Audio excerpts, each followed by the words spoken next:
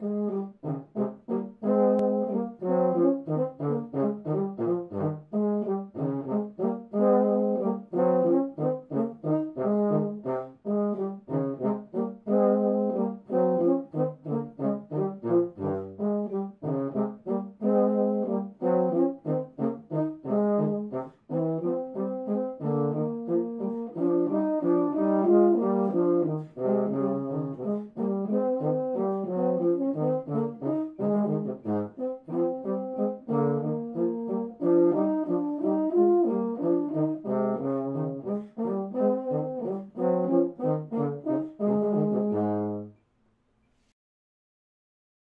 Wanted to take a second and stop this video so I can thank you for watching, uh, watching all my other videos. If you really enjoy them, please, please, please subscribe. And if you if you find like this helped you or somebody that needs this, please share it. Also, if you're interested in playing on anything that I play on, for instance, my Jupiter XO euphonium or my mouthpiece or those uh, weird red penny-looking things I have on my instrument, I have some links down in the description if you need to find those. I have those on Amazon links and some other links for some of the things you can't find on Amazon.